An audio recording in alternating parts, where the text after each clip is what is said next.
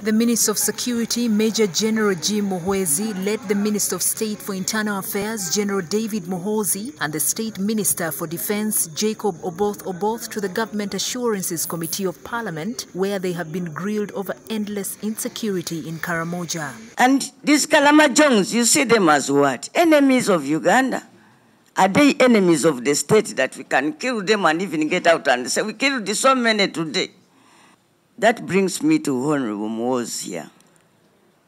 We thought that this was a matter of police. We need peace.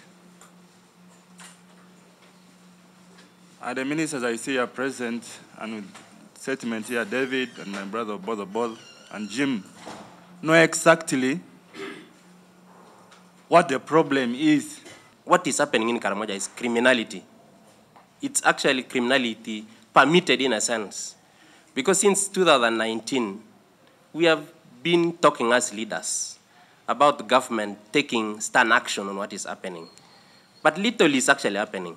The committee, chaired by Mukono Municipality MP Betty Nambooze, is concerned that the command in Karamoja has overstayed and has been so compromised to manage the rampant cattle rustling ravaging the area. The commandant of that division is called Balikudembe? Joseph Balikudembe, my namesake. The Karamajonga are complaining about him. I think that goes to the CDF uh, the representative. Why have you refused to transfer to deploy another commanding officer in this region so that people can get harmony.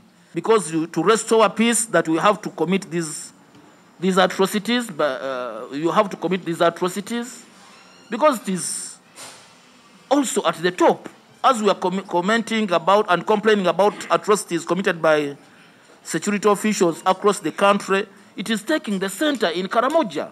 MPs wondered why the UPDF, which has fought and won big wars across the Great Lakes region, is struggling to contain insecurity in Karamoja. Why is it that you're taking too long to curb insecurity in a small region of Karamoja? How then are we sure of our security as Ugandans? If you're handling other countries and here, I hear you're doing well, but a small region in Uganda, you're taking long Therefore, I want to assure this honorable committee that the government is taking appropriate steps to bring the situation in the Karamoja to normal.